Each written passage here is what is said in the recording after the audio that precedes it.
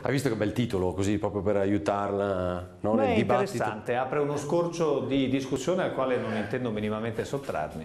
Guardi che interessante lo dice sempre il sindaco di Trieste quando contesta gli articoli del piccolo. io Guardate dico. che io ho molti punti di contatto col sindaco di Trieste e non soltanto i suoi post su Facebook. È una rivoluzione mica da poco, no? Che il direttore del Messaggero sia anche direttore del piccolo. Su questo cosa dici? È una delle difficoltà maggiori da superare? Ma io quando sono a dualismo? Trieste mi metto il cappello di direttore del piccolo e quando sto a Udine quello di direttore del Messaggero Veneto e credetemi non ho alcun imbarazzo, peraltro non sono nemmeno l'unico, Avarino che qui sulla scena Eh. insieme a noi è bidirettore almeno tanto quanto me e poi ho già diretto due giornali contemporaneamente.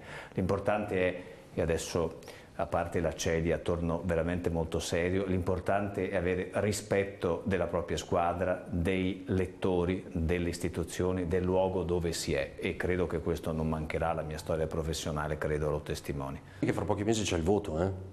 È Uno fa uno più uno, è e cioè? fantastico, è meraviglioso, è- cioè, quale altra occasione c'è? Dov'è il momento in cui ci si diverte di più a Trieste? Beh, insomma, c'è la prima del Verdi che a me interessa sempre molto, ma e, e ci venivo già prima, ma credo che uno dei momenti più divertenti, scoppiettanti e poi soprattutto più importanti sia la scelta del sindaco di questa città, gli antagonisti, cioè coloro che andranno a contendere il ruolo a di piazza. Quindi credo che per chi si candiderà dall'altra parte e non sono ancora sicuro che sia stato deciso chi si candiderà, sarà comunque una campagna elettorale molto molto complicata, fatta più di social che di incontri one to one.